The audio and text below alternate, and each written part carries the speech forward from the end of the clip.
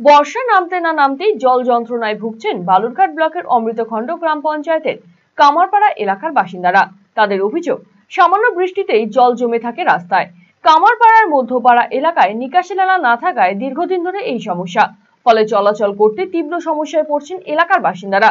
গ্রাম পঞ্চায়েতে বারবার জানিয়েও কাজ হয়নি বলে অভিযোগ, দীর্ঘদিন ধরে এলাকায় জমা জলে দুর্ভোগ হলেও কেন নর্দমা তৈরি হয়নি? তা নিয়ে প্রশ্ন উঠতে শুরু করেছে। অমৃতখণ্ড গ্রাম পঞ্চায়েতের তৃণমূলের উপপ্রধান নারায়ণ মহন্ত এই ব্যাপারে যথাযথ পদক্ষেপ নেওয়ার আশ্বাস দিয়েছেন।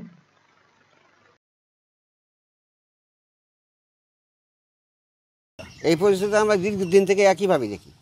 কোনো মেম্বার কোনো প্রধানকে বলে এবং দরখাস্ত দেওয়া হয়েছে কোনো জনকে তিন চারবার কোনো পরিস্থিতি করেনি ওরা। আর একই কথা আমরা রাস্তা করব। কোন সাহায্য করবে সেটা আর বলে না। কি চাইছেন? আমরা রাস্তা চাই। লোকজন ব্যবহারের জন্য ভালো সবাই চাই। আমাদের দাবি যে দুপাশে ড্রেন হোক রাস্তাটা উঁচু হোক সবার যেন সুবিধা হয় যাতায়াতের। কারণ বর্ষা তো এখনও পড়েনি বর্ষা আসলে আরও বেশি জল হয়ে যায়। পায়ে ঘা হয়ে যায় মুশকিল হয়ে যায় সবার যাতায়াত। তো আমরা চাই যে রাস্তা যেন বড় হয় আর দুপাশে যেন ড্রেন হয় এটা আমাদের দাবি। ড্রেন হলে সমস্যা সমাধান সমস্যা সমাধান পঞ্চায়েতকে জানিয়েছিলেন? পঞ্চায়েতকে জানিয়েছে অনেকবার দরখাস্ত দেওয়া হয়েছে কিন্তু কোনো পদক্ষেপ নেওয়া হয়নি। সব বলতে দীর্ঘদিন তো সবাই আশ্বাস দিয়েছে। আমরা বোর্ডে এসেছি মাত্র আট, ন মাস হয়েছে।